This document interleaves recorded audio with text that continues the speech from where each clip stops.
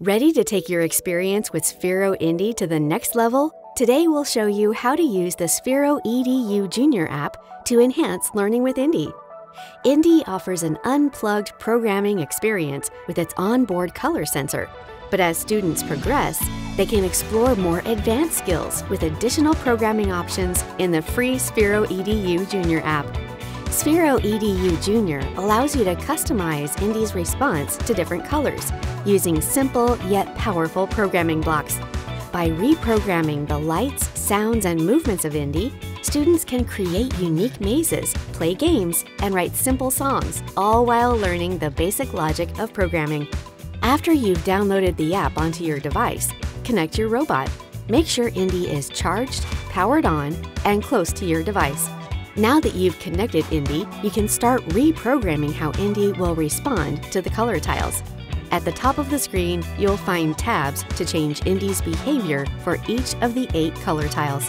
At the bottom of your screen, you'll find movement, light, and sound blocks. Simply drag and drop the block you'd like to use to the center programming board. Make sure to match the block shapes.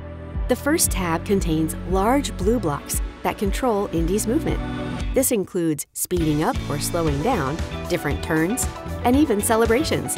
The second tab has teal blocks that set the color of the top LED when indi passes over or stops on a color tile. The last tab contains pink blocks that set a specific sound effect or musical note for each color tile.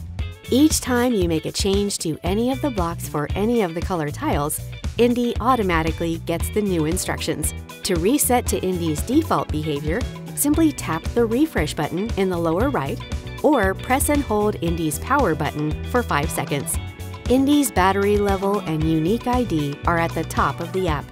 The ID is also on the bottom of indi, so you can ensure you're sending the code to the right robot. In the bottom left, you can change between the programming board, RC drive, arcade drive, and Sphero drive to control indi.